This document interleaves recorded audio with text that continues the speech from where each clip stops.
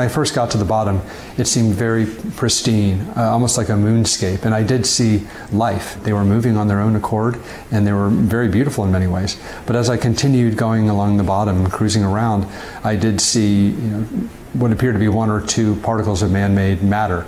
I don't know if they were plastic or metal, but they definitely had sharp edges, and one of them had what looked like a letter on it printed.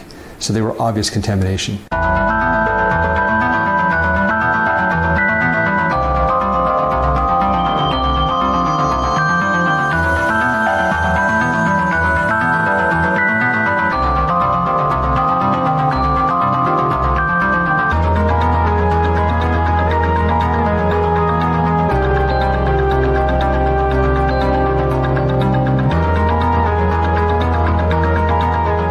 Very disappointing to see obvious human contamination of the deepest point in the ocean.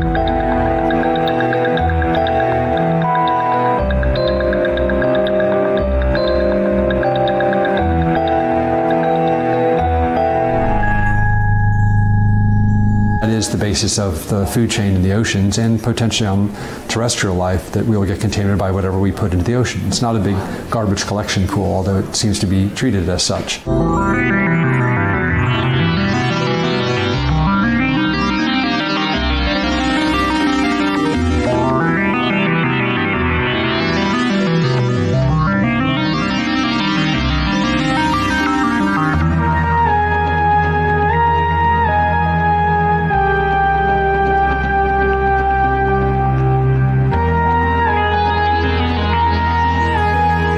Think that there's so many regulations uh, that are not enforced or they're simply not in place that can control contamination going to the ocean because once it goes into the ocean it'll be degraded and it'll flow all over the world because the currents will carry it that way.